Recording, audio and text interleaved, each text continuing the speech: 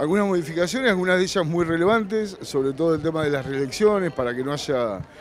digamos, un estancamiento de, lo mismo de siempre, que la conducción de esa parte, esa suerte de representación criminal que tiene vaya cambiando. El tema de las listas es muy importante porque era muy variopinto la conformación y generaba que a veces por roces internos había gente que desista de seguir conformándolo y hoy estamos trabajando con un Consejo de Bienestar Policial reducido. Esas son modificaciones que creemos importantes para evitar estos futuros. Eh, habían planteado en su momento de reelección indefinida y obviamente estamos en contra de eso porque lo, más importante es que uno está siempre representante del Guaipol,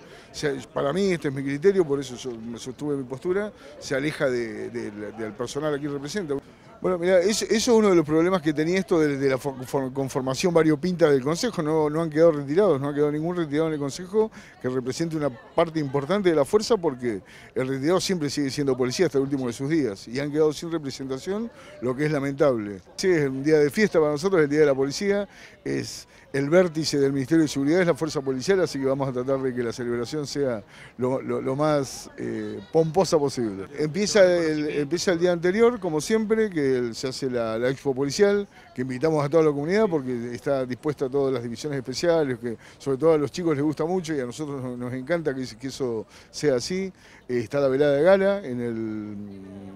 creo que es en la escuela 712, y el 7 la, la celebración obviamente va a haber reconocimiento, sí, siempre los hay.